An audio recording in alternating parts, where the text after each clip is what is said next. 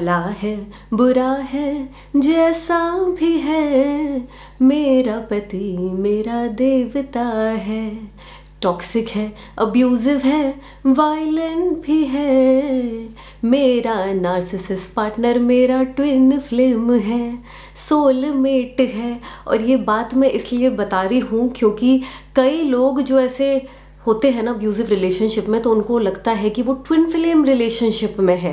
वो उसको वैलिडेशन देने के लिए ट्विन फ्लेम या सोलमेट रिलेशनशिप बोलने लगते हैं। बोलते हैं कि कोई कनेक्शन है, पर प्रॉब्लम यहाँ पर ये हो जाती है, या तो उनको ये वाहियात चीज़ें सिखाई जाती है शुरू से कि भला है, बुरा है, जैसा भी है उसको देवता मानो।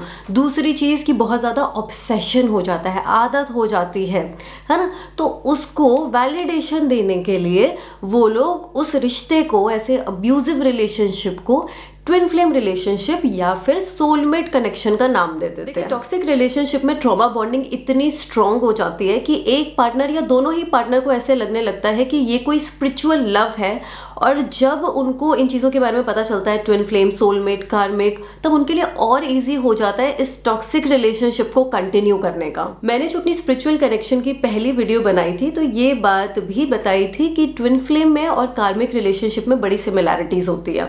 जैसे छोड़ना, वापस आ जाना ब्लॉक कर देना, फिर गायब हो गए इतने महीनों तक, कई सालों तक, फिर वापस आ गए।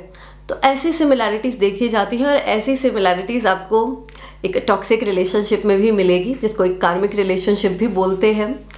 पर ये सिमिलैरिटी कहाँ मिलेगी अब्यूज़ कैसे जस्टिफाइड है? डोमेस्टिक वायलेंस कैसे जस्टिफाइड है? क्योंकि चलिए, सारी चीज़ों को मैं अब साइड कर देती हूँ। एक इंसान है, बड़ा ही काइंड है, बड़ा पोलाइट बड़ा हम्बल कुछ नहीं करता है, किसी पे अत्याचार नहीं करता है, सबके साथ बड़ा अच्छा है।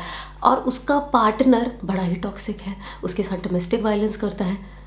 तो अब कौन सा इनर वर्क करवाना है कि उसको वो दिखा रहा हो कि मैं आपको मिरर दिखा रहा हूँ कि तुम्हें ये चेंजेस लाने की ज़रूरत है। वो तो बेचारा वैसे ही इतना काइंड है। हाँ ये हो सकता है दूसरे के थ्रू उसको मिल रहा हो क्योंकि वो सह रहा है। तो उसको भगवान सेल्फ लव की तरफ़ ले जाना चाहते हैं कि ये तू डिजर्व नहीं करता या करती। तू बेटर डिजर्व करती है। तो ये चीज़ मत सह। ये तेरे लिए नहीं है। और जब वो ऐसा कुछ कर दे आपके साथ तो आप कैसे मान सकते हो कि वो आपका ट्विन फ्लेम है? हो ही नहीं सकता है। हाँ आप किसी और को मारपीट कर रहे हो, कहीं और अत्याचार कर रहे हो फिर वो अत्याचार आपके साथ घूम के आ रहा हो, तब तो मैं पल के लिए मान भी सकती हूँ। पर जब आप ऐसा कुछ कर ही नहीं रहे हो, बड़े ही नेक इंसान हो, और उसके बाद भी आपके साथ वायलेंस हो रहा है, वो टॉलरेबल नहीं है। देखिए ट्विन फ्लेम रिलेशनशिप में जो डिवाइन फेमिनिन होती है, वो पहले अवेकन हो जाती है। जो मोस्टली लड़कियों के साथ होता है और कई ऐसे आदमी भी होते हैं जिनके अंदर फेमिनिन सोल हो सकती है तो उनकी भी अवेकनिंग पहले हो सकती है, पर ये बहुत ही रेयर होता है। तो ज़्यादातर लड़कियाँ ऐसे कनेक्शन में पहले अवेकन हो जाती है और फिर उनको ना ऐसा लगने लगता है कि चलो, अब मुझे इसे ठीक करना है, मैं इस जर्नी पर हूँ और ये कुछ भी कर रहा है, मेरे साथ क्या पता ये मुझे दिखा रहा है वो चीज़। ये चीज़ें मुझे ठीक करने की ज़रूरत है मुझे इनर वर्क करने की ज़रूरत है और यही मेरा ट्विन पार्टनर होगा। पर ऐसा आपको कार्मिक भी दिखा सकता है ज़रूरी नहीं है कि, कि सिर्फ़ ट्विन पार्टनर ही दिखाए क्योंकि कई लोगों को ऐसा लगता है कि कि स्पिरिचुअल अवेकनिंग आपके ट्विन पार्टनर ही करा सकता है। वो आपका कार्मिक भी करा सकता है। कोई भी करा सकता है अरे सड़क पर कोई इंसान भी करा सकता है कि वो आपको दिखा रहा हो। अपने थ्रू कि आपको खुद में ये चीज़ ठीक करने की ज़रूरत है। देखिए डोमेस्टिक वायलेंस का फ़िज़िकल असल्ट का कोई एक्सक्यूज़ नहीं है। आप उसको वैलिडेट नहीं कर सकते हैं। और जब आप ये प्रूव करने लगते हैं कि आप एक ट्विन फ्लेम जर्नी में हो, अपने टॉक्सिक रिलेशनशिप को ऐसा नाम देने लगते हैं, तभी तो डॉक्टर साइकेट्रिस्ट साइकोलॉजिस्ट ये बातें बोलने लगते हैं कि ये सारी चीज़ें बेकार होती है। आप तो बस नाम खराब कर रहे हो स्पिरिचुअल रिलेशनशिप का।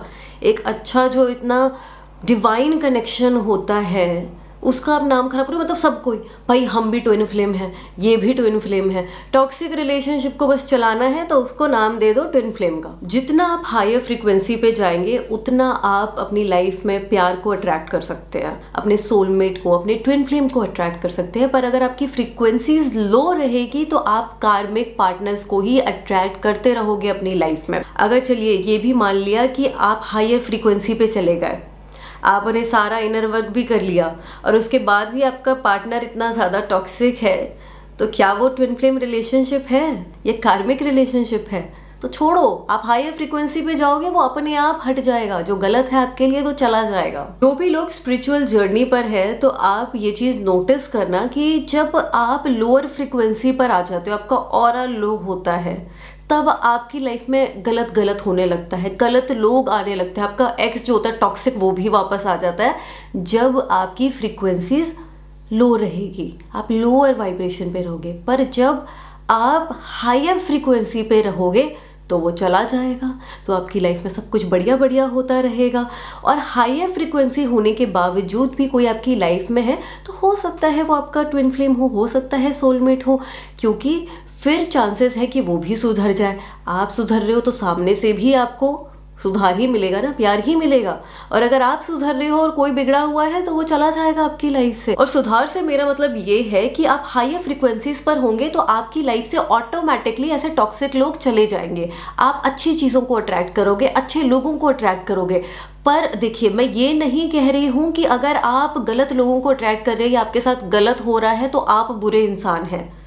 मैं हायर फ्रीक्वेंसीज पर जाने के लिए इसलिए बोलती हूँ, मैं डिटैचमेंट प्रैक्टिस करने के लिए इसलिए बोलती हूँ, क्योंकि ये ऐसे टॉक्सिक रिलेशनशिप में जो ये ऐसा साइकिल होता है, उसमें बहुत काम आता है। जो लोग ऐसे ट्रॉमा बॉन्डिंग में फंसे रहते हैं, उनके लिए ये बहुत ही अच्छा ऑप्शन है कि आप अगर अपनी स्पिरिचुअल हीलिंग करते हैं, तभी आप ऐसे अब्यूजिव साइकिल से सही तरीके से निकल पाते हैं। नार्सिसिस्ट टॉक्सिक इंसान से आप ब्रेकअप भी कर सकते हो, पर ब्रेकअप के बाद भी आपको याद आती रहेगी, क्योंकि डिटैचमेंट नहीं हुआ है।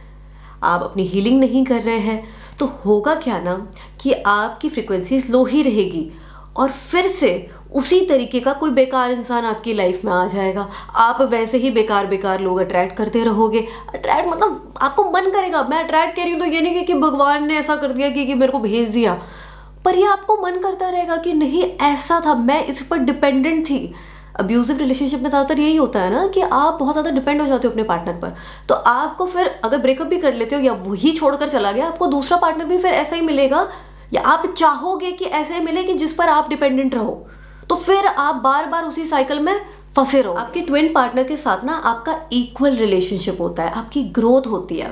जैसे आप अपनी स्पिरिचुअल हेल्थ का ध्यान डेली रखते हो बड़ा ध्यान रखते हो जैसे फ़िज़िकल हेल्थ का रखते हो नहाते हो ब्रश करते हो खाना खाते हो डेली खाते हो ना वैसे स्पिरिचुअल हेल्थ का भी ध्यान रखना होगा मेडिटेशन करना होगा योगा करना होगा जर्नल लिखना होगा ग्रेटिट्यूड शो करना होगा भगवान को यूनिवर्स को। यहाँ पर इक्वल रिलेशनशिप है बहुत ही सुंदर रिलेशनशिप है आपकी ग्रोथ भी हो रही है वही आपका सोलमेट है वही आपका ट्विन फ्लेम है। तो आप लोग लोग टॉक्सिक रिलेशनशिप को ट्विन फ्लेम रिलेशनशिप का नाम देकर ग्लोरीफाई मत करिए क्योंकि ये गलत है।